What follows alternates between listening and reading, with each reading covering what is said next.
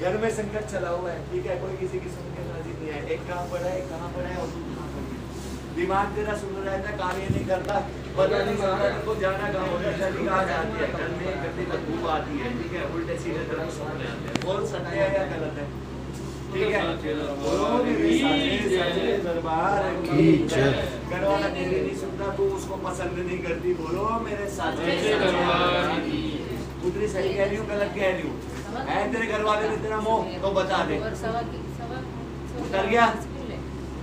तू क्या चाहती है? उसको ठीक रास्ते लेके आना चाहती है। फिर ये बता।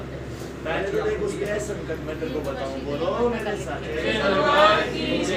शमशान की सनक सबसे पहले तो। अगर तूने उसको ठीक करना तो तीन सनक उसकी शमशान की जाएगी। अगर तू शमशान में नहीं दे सकती तो उसको खाली जगह रख के आना पड़ेगा और उससे पहले तेरे को माँ से प्रार्थना है मेरे से कि माँ काली मैं ये तुम्हारा दिल स्वीकार करके शमशान का लिखे ठीक है ये बहुत स्वीकार करी और उसके ऊपर से सात बार मार के किसी भी सुनसान जगह रख दे जा तेरा घर वाला ठीक हुआ। बोलो मेरे दरबार की और एक और बात बताऊँ मैं पुत्री तेरे ऊपर भी संकट चला हुआ है तेरे पाँव में दर्द रहता है पुत्री। पेट में भी चुभन होती है ठीक है? कई बार तेरे रात को हाथ पाँव कंधे भारी होते हैं डर भी लगता है। ठीक है? बोलो मेरे साचे साचे जय।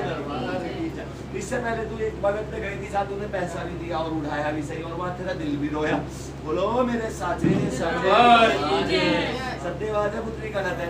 और वहाँ पर तू कैसी किलसावी भावना से तू बोल के आई थी आज तक उस दरबार से किसी का कार्य नहीं बनता। सब अपने ही बैठे बस एक दूसरे के नाम के बस ऐसे बोले जाते। सत्य है गलत है? उस दरबार का मैं नहीं हूँ। जिस दरबार पे ये चल जाए ना मैं वहाँ से चली जाती हूँ। जय कर है मेरी शेरा वाली का दरबार की जय।